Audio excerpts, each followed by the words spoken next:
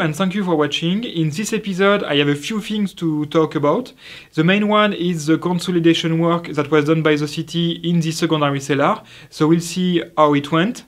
The second thing is some uh, survey holes I dug at the entrance and in the under cellar.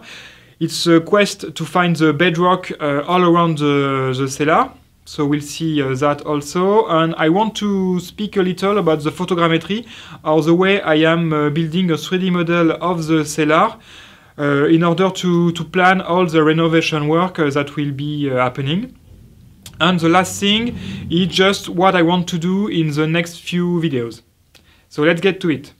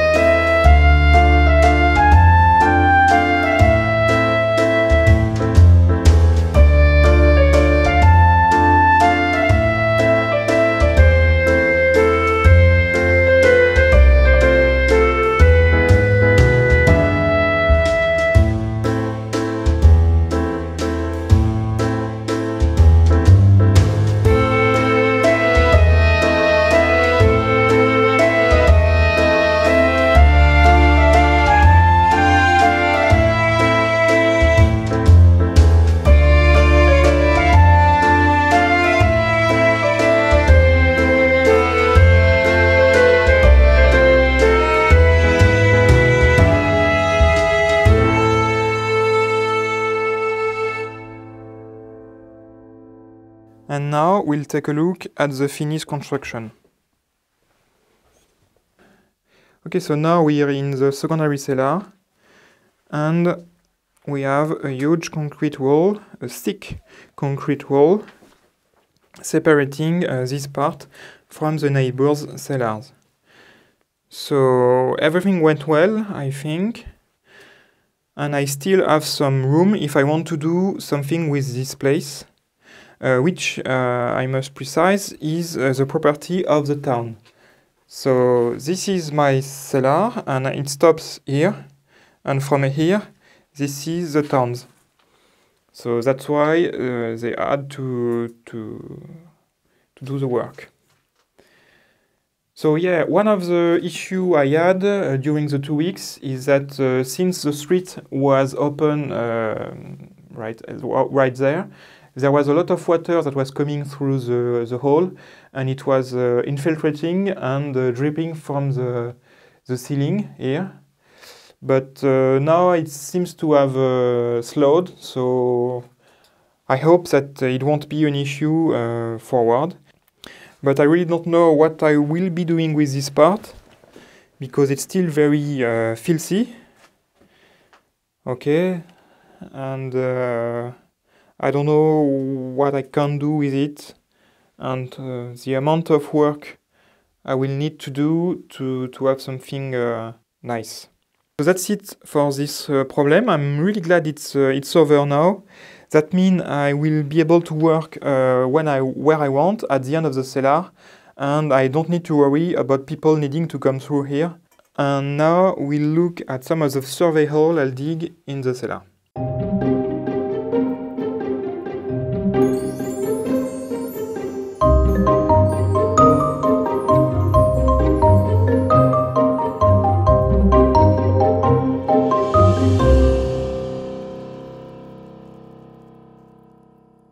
Okay, so you've seen me dug uh, a survey hole here.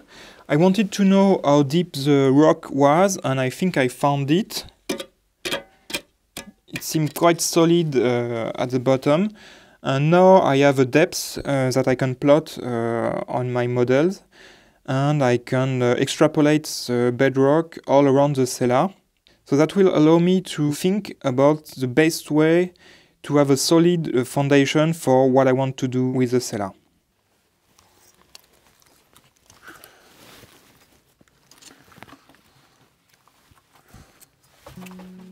So we are in the undercellar right now, and I had a talk with the guys uh, from the non-profit organization and uh, the archaeologist, and they told me not to worry about the bones. So they are, they are definitely bones, but uh, probably from uh, uh, animal, um, pigs, and, and everything like that. So unless I found a skull, uh, I should be okay. So let's talk about the hole I dug in here because as you can see, I can't really stand. Here I'm standing, but if I want to go in there, I need to uh, crouch. So I wanted to know um, if there was a bedrock uh, anywhere under the earth.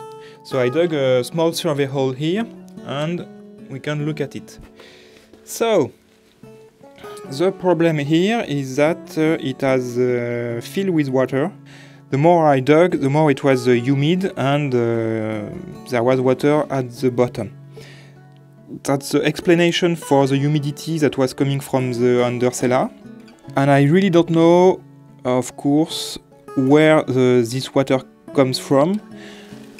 Maybe it's coming from the street because this is uh, from the street. I think it was filled at some point with uh, debris and, uh, and stuff from the street and maybe there is some water that is coming uh, from the street and, uh, and arriving in, in this place. So yeah, maybe we can stand, so maybe it can be useful, but there is this water. So all in all, I really don't know uh, what I will be able to do with the undercellar.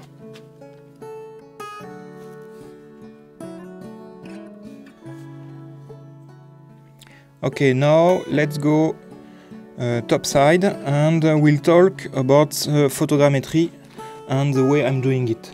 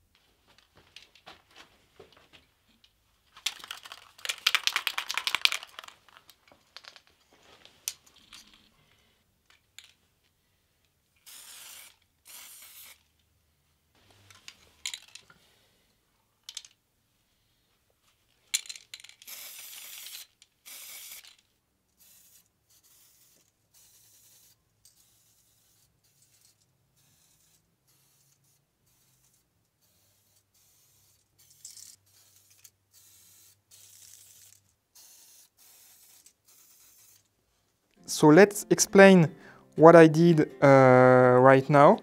What I did is something to help me build a precise 3D model. So what I want to do is have a really precise 3D model and the first goal of, this is the orientation. So I wanted to have a really strong baseline which is level all across the cellar in order to orientate my model in this plane.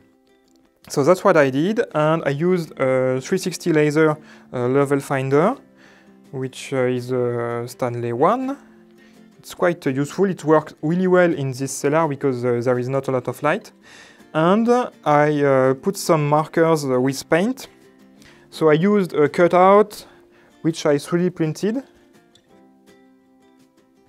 So the markers are put quite precisely on the line, with that, I can model the markers in my 3D environment and orientate my cellar model along those lines. Another advantage is now I have a really strong baseline from which to reference uh, future, future uh, lengths to.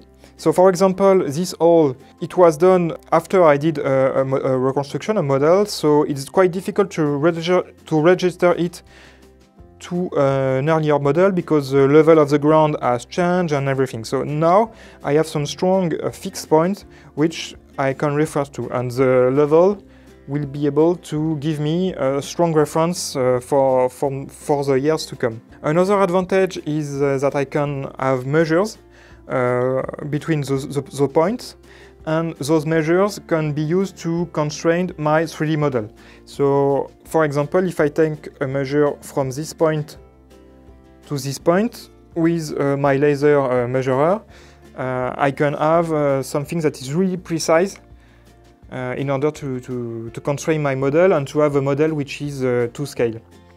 So I did a level here and also uh, with the cross uh, functionality of the 360 laser I put a vertical axis here so that way I can reference it also in order to orientate the model this way but I shouldn't have to, to use it but uh, anyway it's here and uh, it's quite uh, precise also so there's that. And the third functionality of um, the markers is in order to stitch different parts of the model together because sometimes in photogrammetry you can't uh, have a big model in one go, you have to uh, divide it in pieces. That way I can uh, stitch uh, the different pieces uh, referencing the uh, markers and the locators. So I think it will be really useful in that, in that, in that way also.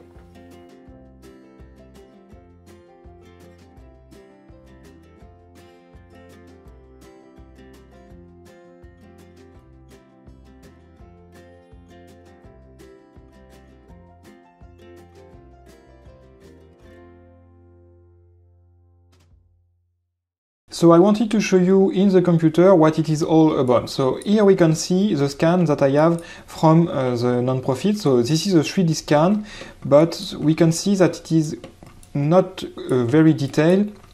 And also it's a bit uh, messy because there is different state of the cellar. I have still the pillars, the stairs, and uh, every uh, lights and, and, and things. So it's a bit messy, so I want to have a, a better model than this. But this model is still quite useful because every um, every space is uh, represented. I have uh, the recess uh, below the, the stairs, so it's uh, quite useful and everything is uh, really tight and the scale is right and the level is also right because you have that for free when you're doing a laser scan. Let's take a look now at the photogrammetry side of this. So in Metashape, which is the photogrammetry software that I'm using, you import all of the photos that you've taken of your object or your location and this software will help you uh, reconstruct a 3D model from the images. So you can use uh, the markers as an help, so it has helped me quite a lot in this instance. And when you have set, set up all of the markers on the photos and everything, you can uh, compute a first uh, point cloud, which look like this. So this is a sparse point cloud. Then you compute a more dense point cloud. So this is still, uh, these are still points you see. This is not something you can use in a 3D package.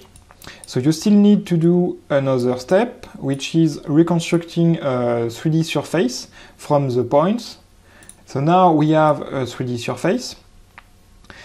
And each of the steps I've shown here have, has taken a lot of time to compute. So this is quite a heavy things to do. You, you need to have a, quite a beefy computer in order to process uh, this amount of data. But you can see that the reconstruction is really uh, precise and we have a lot of details on the surface.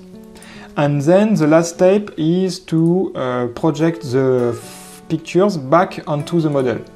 So you get a texture of the model that can give you a lot uh, of information on top of the, of the 3D uh, surface. So when I have that, I can export this into my 3D package. And we can see uh, that's what we have in, uh, in the 3D space, in the 3D software. And then I can constrain my model uh, with some uh, dimensions so I have uh, taken some measures and everything is quite precise here. I have also um, a plane that is representing the level of uh, my 360 laser. So the plane is going through every uh, markers on the wall. So this is my reference line, my reference level. So then I can build a model from uh, this, uh, this surface, which is quite a lot lighter, and I will use this model uh, to uh, plan uh, the future, the work I want to do, the restoration and renovation. So with this model I can try a lot of different solutions and it's really useful uh, to see what will work and what won't work especially in a project like this where I don't really have uh, square or straight surfaces. Uh, everything is a bit crooked and I don't have a lot of space so I have to plan things really carefully and I really don't want to, to make too, too large of a, of a mistake. So I hope you can understand what I'm doing with this and how useful it can be, especially for a project like this, uh, to have such a, a visualization. And now we'll see what I want to do in the next few weeks. It was under my nose the whole time, but I didn't realize what it was. But here, under the stairs, I found a cupboard. So we see that the stones are cut, there is a groove all around, and here we have a, a hinge. So this is a cupboard, and we can see obviously that it is uh, almost completely under the earth. So what I want to do is remove everything from here and try to find the bottom of this cupboard. And I'm guessing it's uh, as deep as those uh, stairs. And also it should be full of uh, of trash, of uh, bottles and everything. So, so that's what we'll be doing in the next few uh, videos, I guess. I want to remove everything from this corner trying to find uh, the ground uh, like uh, like here and also find how it was connected to the secondary cellar. Maybe I will have to destroy this wall. I don't know what I want to do with everything here because this is quite deep and I don't know uh, if I want something as deep as that and also it will mean a lot of earth to remove again. But uh, the next time I will be doing works around the cupboard. So that's it for this week. Uh, thank you for watching and I'll see you next time.